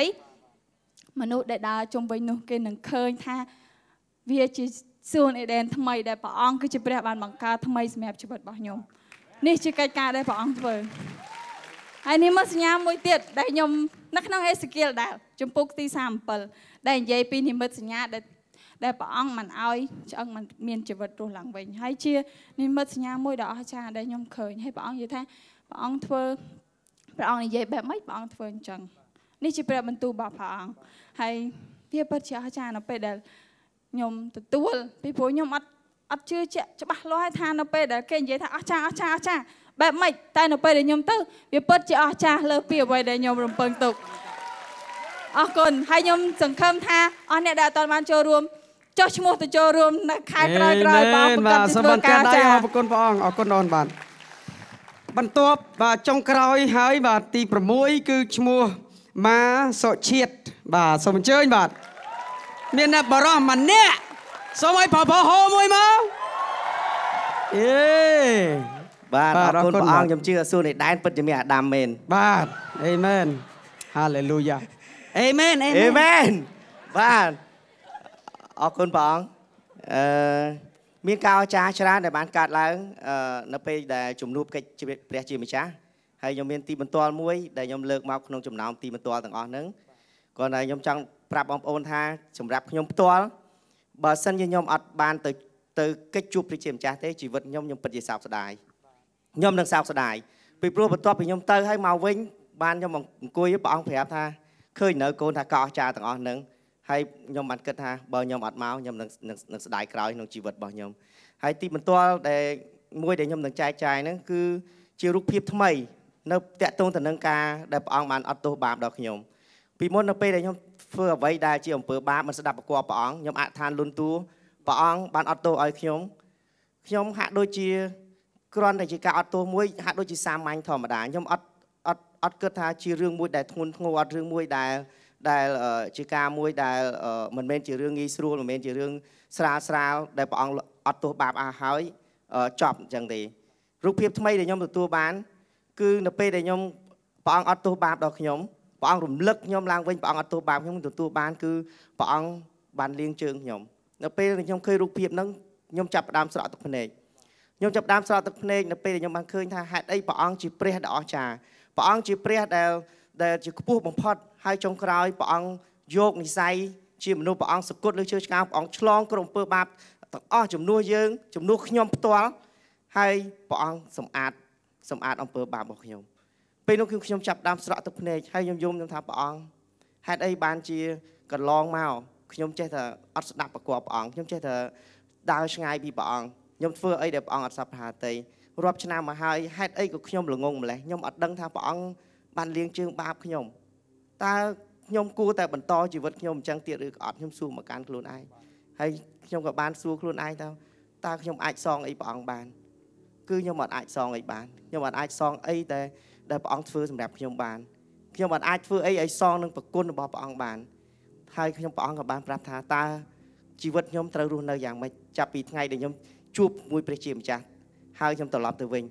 ព្រះអង្គបានប្រាប់ខ្ញុំថាអ្វីដែលខ្ញុំអាចធ្វើបានគឺខ្ញុំតាមព្រះអង្គឲ្យជាប់ខ្ញុំរស់នៅស្ដាប់បង្គាប់ព្រះអង្គហើយព្រះអង្គឲ្យខ្ញុំទៅឆ្វេងខ្ញុំទៅឆ្វេងព្រះអង្គឲ្យទៅស្ដាំខ្ញុំទៅស្ដាំហើយអត់ឲ្យខ្ញុំខ្វល់អីទាំងអស់ពីព្រោះព្រះអង្គនៅជាមួយ ព្រះអង្គដឹងថាខ្ញុំត្រូវរស់នៅម៉េចព្រះអង្គត្រូវចិញ្ចឹមខ្ញុំយ៉ាងម៉េចព្រះអង្គត្រូវឲ្យខ្ញុំជួបស្អីទាំងអស់គឺស្រេចទៅលើផែនការព្រះអង្គសំខាន់គឺខ្ញុំតាមព្រះអង្គឲ្យជាប់អេមែនអរគុណព្រះអង្គបាទសូមអន្តរដៃអរគុណដល់ព្រះអង្គអរគុណបាទសម្រាប់ការចែកចាយនៅល្ងាចនេះយើងឃើញថាកិច្ចការអស្ចារ្យអ្វីដែលបានកើតឡើងអ្វីដែលជាការផ្លាស់ប្ដូរជាការផ្លាស់ប្រែ មានអ្នកខ្លះទទួលបាននៅនិមិត្តថ្មីឡើងវិញមានអ្នកខ្លះទទួលបាននៅការអឺអឺអឺផ្លាស់ប្រែទទួលសេចក្តីស្រឡាញ់ទទួលការប្រោសឲ្យជាអំពីបញ្ហាដែលកើតមានឡើងក្នុងជីវិតអ្នកខ្លះទទួលការអឺអឺលើកលែងរួចពីបាបពីកិច្ចការជាច្រើនអ្នកខ្លះទទួលបាននៅសេចក្តីស្រឡាញ់កិច្ចការទាំងអស់នេះហើយគឺជាបំណងផាតីរបស់ព្រះជាម្ចាស់អេមែន ដោយសារតែព្រះអង្គទ្រង់ស្រឡាញ់យើង ដោយសារតែព្រះអង្គទ្រង់មានគម្រោងការដ៏អស្ចារ្យសម្រាប់ជីវិតរបស់ពួកគាត់ម្នាក់ម្នាក់ហើយខ្ញុំជឿថាអឺព្រះអង្គក៏មានគម្រោងការអស្ចារ្យមានបហតីស្រឡាញ់សេចក្តីមេត្តាករុណាសម្រាប់បងប្អូនទាំងអស់គ្នាដែលនៅទីនេះដែរអេមែននេះគឺជាទីបន្ទាល់អត់មានអ្វីដែលយើងអាចបដិសេធបានទេអេមែន ព្រះគម្ពីរបានចែងថាគេអាចបដិសេធអំពីដំណឹងល្អពេលខ្លះគេអាចបដិសេធអំពីអ្វីដែលយើងប្រាប់ពីលក្ខណៈរបស់ព្រះអង្គប៉ុន្តែគេមិនអាចបដិសេធនៅទីបន្ទាល់កិច្ចការអស្ចារ្យដែលកើតឡើងក្នុងជីវិតរបស់មនុស្សម្នាក់បានទេអេមែនបើមនុស្សម្នាក់គាត់ពិការហើយគាត់ទទួលការប្រោសឲ្យជាសះស្បើយគេមិនអាចបដិសេធបានទេមនុស្សម្នាក់គាត់គាត់ខ្វាក់ភ្នែកហើយគាត់បានភ្លឺភ្នែកឡើងវិញគេមិនអាចបដិសេធបានទេអេមែនបើជីវិតមនុស្សម្នាក់ដែលមិនល្អ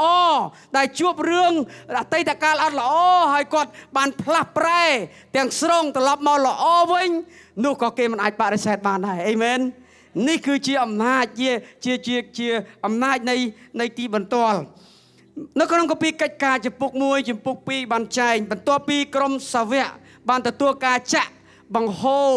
ឫទ្ធានុភាពទទួលការអស្ចារ្យពីព្រះវិញ្ញាណដ៏វិសុទ្ធហើយពួកគេចាប់ផ្ដើមធ្វើបន្ទាល់ដោយបងប្អូនដែលយើង អង្គុយនៅទីនេះគាត់ត្រឡប់មកវិញគាត់បន្ទាប់ពីគាត់ទទួលការចាក់បង្ហូរពីឫទ្ធានុភាពព្រះវិញ្ញាណដ៏វិសុទ្ធព្រះអង្គប៉ះពាល់គាត់ម្នាក់ម្នាក់ខ្ញុំជឿថាសុទ្ធតែមានរឿងកិច្ចការអស្ចារ្យប្រហែលដោយសារពេលវេលារបស់យើងយើងជ្រើសរើសមួយចំនួនប៉ុន្តែបងប្អូនអាចធ្វើទីបន្ទាល់ទៅកន្លែងធ្វើការទៅក្នុងក្រុមគ្រួសារទៅកន្លែងសាលារៀនរបស់យើងកន្លែងដែលយើងរស់នៅយើងអាចប្រាប់គេអំពីកិច្ចការអស្ចារ្យដែលព្រះអង្គបានធ្វើការក្នុងជីវិតរបស់យើងអេមែន អញ្ចឹងដូច្នេះមានពេលមួយនោះលោកពេត្រុសបន្ទាប់ពីគាត់ទទួលការអស្ចារ្យពីព្រះអង្គហើយគាត់ចាប់ផ្ដើមងើបឡើងហើយគាត់ធ្វើទីបន្ទាល់នេះជាអ្វីដែលបានកើតឡើងនៅក្នុងកិច្ចការចំពុក2ខទី37ដល់ខទី38ដែលយើងមើលបន្តិចបានចែងថាកាលបណ្ដាជនបានលឺសេចក្តីទាំងនេះលឺទីបន្ទាល់អេមែនលឺសេចក្តីទាំងនេះពួកគេរំជួលចិត្តជាខ្លាំងសូមនិយាយថារំជួលចិត្តជាខ្លាំង ភាសាគឺបោះសัตว์យើងយើងថាប៉ះពាល់ចិត្តឬក៏ត្រូវចិត្តឬក៏រំជួលចិត្តមានន័យថាឲ្យយើងចង់បានឲ្យយើងអំណរឲ្យយើងដូចចាប់អារម្មណ៍ឲ្យយើងចាប់អារម្មណ៍អញ្ចឹងគេមានការចាប់អារម្មណ៍ជាខ្លាំងរំជួលចិត្តជាខ្លាំងហើយសួរលោកពេត្រុសនិងនិងសាវកឯទៀតឯទៀតថាបងប្អូនហើយតើឲ្យខ្ញុំធ្វើដូចម្ដេច ទៅពេលដែលយើងលើកទីបន្ទាល់យើងទទួលការប៉ះពាល់រំជួលចិត្តយើងចង់ស្គាល់ព្រះអង្គយើងចង់ជឿព្រះអង្គយើងចាប់អារម្មណ៍ពីព្រះអង្គឲ្យខ្ញុំធ្វើម៉េចបងប្អូននៅទីនេះប្រហែលមានសំណួរនឹងដែរតែលោកគ្រូខ្ញុំលឺអញ្ចឹងដែរខ្ញុំចាប់អារម្មណ៍ហើយខ្ញុំចង់ឃើញការអស្ចារ្យខ្ញុំចង់ឃើញព្រះជាម្ចាស់ដែលបងប្អូននេះចែកចាយនេះធ្វើការអស្ចារ្យក្នុងជីវិតរបស់ខ្ញុំដែរឲ្យខ្ញុំធ្វើអ្វីលោកគ្រូខ្ញុំចង់បានដែរខ្ញុំចង់ជឿដែរ ព្រះគម្ពីរបន្ទាប់បានចែងថាម៉េចបានចែងថាអឺលោកពេត្រុសមានប្រសាសន៍ទៅគេថាឆ្លើយថាសូមបងប្អូនកែប្រែចិត្តគំនិតសូមនិយាយថាកែប្រែចិត្តគំនិតហើយម្នាក់ម្នាក់ត្រូវទទួលពិធីជាមួយទឹកក្នុងព្រះនាមព្រះយេស៊ូវទៅដើម្បីឲ្យព្រះជាម្ចាស់លើកលែងទោសបងប្អូនឲ្យរួចពីបាបហើយបងប្អូននឹងទទួលព្រះវិញ្ញាណដ៏វិសុទ្ធដែលជាអំណោយទានរបស់ព្រះជាម្ចាស់អេមែន ចឹងលោកពេត្រុសគាត់មានគាត់បានគាត់បានប្រាប់គេថាគាត់មនុស្សម្នានឹងអ្នកដែលចង់ជឿលើព្រះអង្គត្រូវកែប្រែចិត្តកំណត់កែប្រែចិត្តនេះមានន័យថាកែប្រែពីអត់ជឿមកជឿលើព្រះយេស៊ូវអេមែន ពីយើងអត់មានព្រះអង្គយើងអញ្ជើញព្រះអង្គគង់នៅក្នុងជីវិតរបស់យើង ហើយធ្វើជា ព្រះសង្គ្រោះធ្វើជាព្រះអង្គម្ចាស់នៅក្នុងជីវិតរបស់យើងខ្ញុំជឿជាក់ថា ការអស្ចារ្យនឹងកើតមានឡើង ការផ្លាស់ប្ដូរនឹងកើតមានឡើង នៅ ក្នុងជីវិតរបស់លោកអ្នកបងប្អូនអេមែនដូចគេអញ្ចឹងដែរដូចគេអញ្ចឹងដែរអេមែននៅក្នុងយ៉ូហាន1យ៉ូហានចំពុកទី1ខទី9បានចែងបន្តទៀត បានចែងថាប៉ុន្តែបើយើងទទួលសារភាពអំពើបាបរបស់យើងនោះព្រះជាម្ចាស់ដែលមានប្រហាតីស្មោះស្ម័គ្រនិងសុចរិតព្រះអង្គនឹងអត់ទោសឲ្យយើងរួចពីបាបសូមនិយាយថាអត់ទោសឲ្យយើងរួចពីបាបមកអ្នកដែលទទួលស្គាល់ថាយើងជាមនុស្សដែលមានបាបយើងមានកំហុសយើងមានកិច្ចការជាច្រើនដែលយើងធ្វើខុសឆ្គងកន្លងមករាប់ថាជាអំពើបាប ព្រមទាំងលួចបោះប្រោះយើងអត់ទោះយើងរួចពីបាបព្រមទាំងជំរះយើងឲ្យបរិសុទ្ធរួចពីគ្រប់អំពើទុច្ចរិតទាំងអស់ផងអាមែនម៉ាអ្នកចង់មានសេរីភាពពីអំពើទុច្ចរិតអំពើដែលមិនល្អជួនកាលមានកិច្ចការខ្លះដែលយើងមិនចង់ធ្វើបែរជាធ្វើមែនទេអ្វីដែលយើងត្រូវធ្វើល្អនោះបែរជាមិនធ្វើទៅវិញនេះដោយសារតែអំពើបាបអេមែន បើជឿលើព្រះអង្គព្រះអង្គលៀងជំរះយើងព្រះអង្គប្រោសឲ្យយើងមានសេរីភាពនោះយើងយើងបានសុចរិតអេមែនអេមែនមួយទៀតនៅក្នុងរ៉ូមជំពូកទី10ខ10បានចែងថាត្បិតបើចិត្តយើងជឿក្នុងចិត្តរបស់យើងនេះឥឡូវនេះយើងបានលឺហើយយើងបានលឺទីបន្ទាល់ហើយជំនឿរបស់យើងកើតឡើងហើយឥឡូវចូលដល់ក្នុងចិត្តរបស់យើងយើងលឺពីខួរក្បាលរបស់យើងនេះឥឡូវចូលដល់ក្នុងចិត្តបានចែងថាត្បិតបើចិត្តយើងជឿយើងនឹងបានសុចរិត រួចពីបាបអេមែនហើយបើមាត់យើង ប្រកាសពីជំនឿនោះយើងទទួលការសង្សង្គ្រោះអេមែននេះជាអត្ថបទគម្ពីរដែលបង្ហាញពីបហាតីស្រឡាញ់របស់ព្រះអង្គព្រះអង្គទ្រង់ត្រាស់ហើយទ្រង់មានព្រះបន្ទូលទៅកាន់លោកអ្នកបងប្អូនជាពិសេសបងប្អូនដែលមកចូលរួមនៅទីនេះដែលជាបងប្អូនដែលជាឪពុកម្ដាយដែលជាសាច់ញាតិ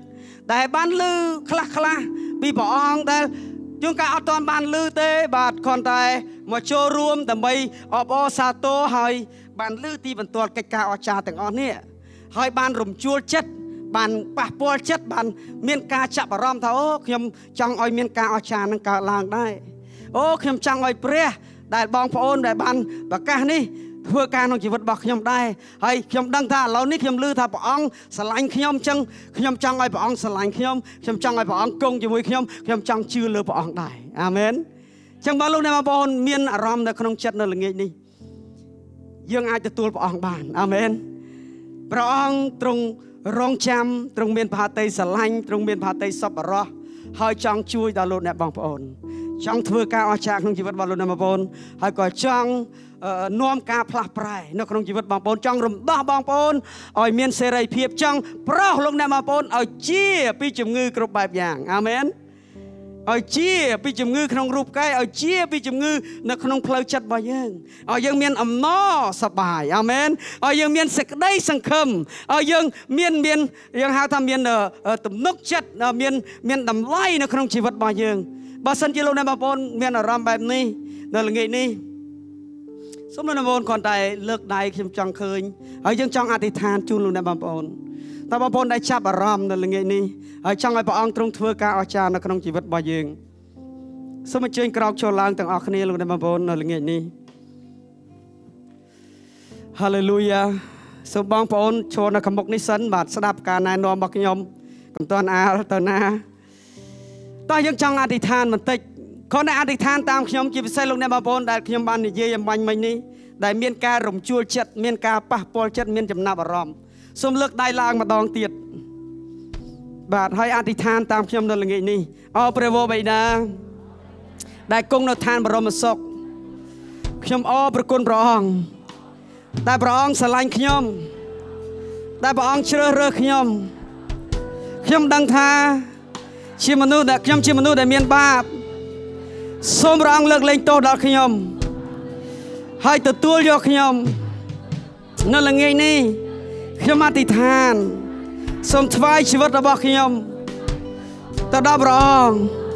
សូមព្រះអង្គយាងមកគង់នៅក្នុងជីវិតរបស់ខ្ញុំ ធ្វើជាព្រះម្ចាស់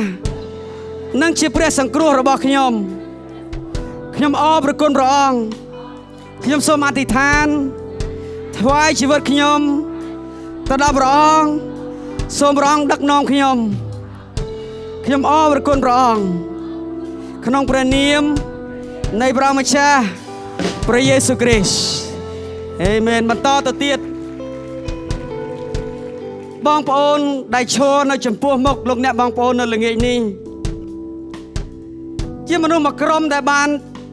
ញែកខ្លួនដាច់ឡែក ចូលទៅក្នុងប្រវត្តិមានរបស់ព្រះជាម្ចាស់ដែលប្រកបដោយឫទ្ធានុភាពដែលប្រកបដោយការអស្ចារ្យដែលប្រកបទៅដោយអំណាចខ្លាំងក្លានៅល្ងាចនេះហើយគាត់ក៏បាននោមយកនៅភ្លើង នៃព្រះវិញ្ញាណដ៏វិសុទ្ធនៅកម្លាំងនៅចិត្តឆេះឈួលអញ្ចឹងគាត់ត្រៀមខ្លួនដើម្បីនឹងផ្ទេសូមនិយាយថាផ្ទេ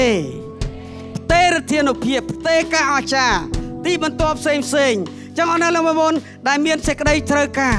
ចង់ឲ្យអ្នកទាំងអស់នេះ បងប្អូនប្រុសស្រីរបស់យើងអធិដ្ឋានឲ្យយើង អ្នកដែលមានបញ្ហា អ្នកដែលមានជំងឺ អ្នកដែលមានស្អីក៏ដោយដែលជាជារនាំងណាដែលយើងត្រូវការសេចក្តីអធិដ្ឋានត្រូវការរធានុភាពសូមសូមសូមអញ្ជើញមកខាងមុខហើយឲ្យឲ្យបងប្អូនមកយើងដាក់ដៃអធិដ្ឋានផ្ដល់ពរជូនលោកអ្នកបងប្អូននៅល្ងាចនេះ